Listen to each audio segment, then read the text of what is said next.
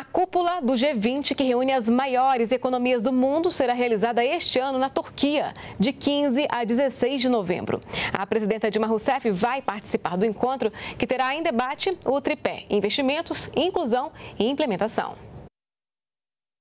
A presidenta Dilma Rousseff e outros chefes de Estado dos países membros do G20 e convidados vão participar da cúpula em Antalya, na Turquia. O Brasil vai propor aos integrantes do grupo o compromisso de não aumentar os subsídios como resposta à queda dos preços das commodities. É o que afirma o embaixador Carlos Cozendei. Nós achamos que o G20 deveria se preocupar com isso, porque se em resposta à queda dos preços esses subsídios forem aumentados, ser ainda maior e isso vai ter um efeito muito ruim para os países uh, mais pobres e para uh, o desenvolvimento rural desses países.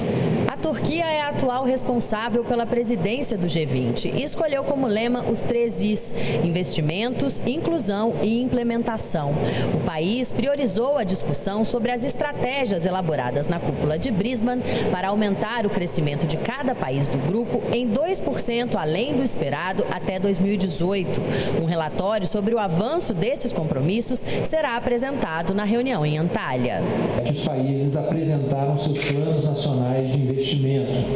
É, no caso do Brasil, obviamente, está muito centrado ah, nos planos de investimento na área de infraestrutura sobretudo,